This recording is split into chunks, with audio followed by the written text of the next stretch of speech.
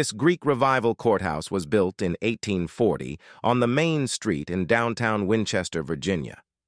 Alterations made to the courthouse over the years were removed during the renovation and restoration process, and the building's oldest layers were exposed, repaired, and refinished. Civil War-era graffiti was uncovered during the selective demolition phase. The graffiti had been penciled and scratched into the plaster walls by both Union and Confederate soldiers because the city of Winchester had changed hands over 70 times during the war.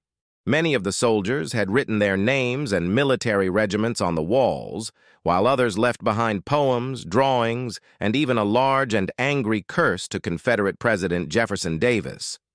Renovation work included installing new metal stud walls connected only at the floor and ceiling in front of the old plaster walls in order to protect them.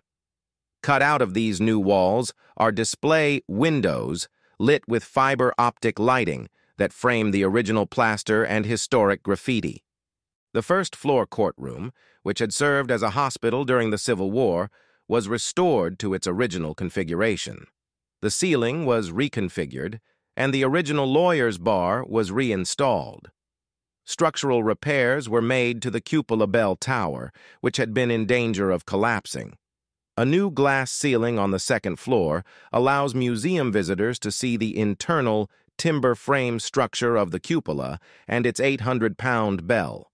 A new, butt-glazed entry system allows the original 11-foot-high solid wood doors to remain open, giving visitors a welcoming glimpse into the museum.